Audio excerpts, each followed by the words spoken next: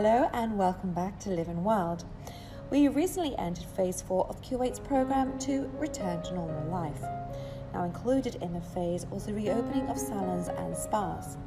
And we decided to take a visit to Bubbles Nail Spa in Kuwait City to see for ourselves and to share with you the measures that have been taken to protect clients and employees alike against infection from COVID 19. Also check the link below in the description to read the full government directives too. So follow me here. Uh, we have social distancing displays uh, just to remind people to wash their hands. When people do come in, we urge them to sanitize their hands first. If they don't prefer to sanitize, they can go straight to our wash basin where they can wash their hands for 20 seconds. And if you notice, we have the directions on how to wash your hands right above the wash basin. Now we encourage customers to enter, go straight to their seat. There's no need to stop at the re reception. Your, your nail tech will be waiting for you at the door to guide you to your seats. When you get to your seat, your seat will be sanitized. It's going to be sanitized before and after every client. It's going to be sanitized if it's left uh, unused for two hours. And what we'll be doing is alternating uh, stations, uh, so no two clients are sitting next to each other. And as you see, we already have quite a distance, so we will have at least a three meter distance between each client.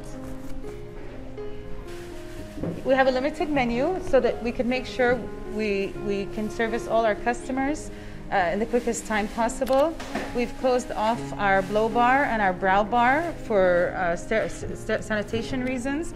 We just want to make sure that we offer the most uh, cleanest, most sanitary uh, services uh, in the, the, best environment possible. And right now, we felt that uh, for manicure and pedicure, that we, we can offer that in a very uh, like effectively sanitized environment. If you notice, um, we've labeled and numbered our stations, and that's to make sure that the stations that are being used are alternated. For example, the morning shift has the odd numbers, and the afternoon has the even numbers, and there's also a name there, so that means that employee is responsible for sanitizing their own station. We have dedicated garbages, garbage cans for our personal protective equipment. Uh, that means masks, gloves, anything else that needs to be disposed of will be in uh, specified uh, receptacles. Uh, we'll be changing our gloves between each customer uh, and masks will be changed every four hours and they'll also, all the nail techs will be using face shields while they uh, perform services.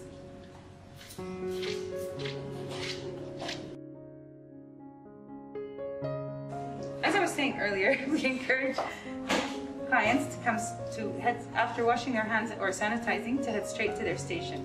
At that point, um, to choose nail polishes, we usually have a customer um, come up to the nail polish rack, but for now, to avoid contamination, we'll the but for now, to avoid contamination, your nail tech will bring your nail polish choices to you at your seat. When you're done with your service, any future appointments that you need to uh, arrange, any purchases that you want to make, and paying for your service will be done in your seat.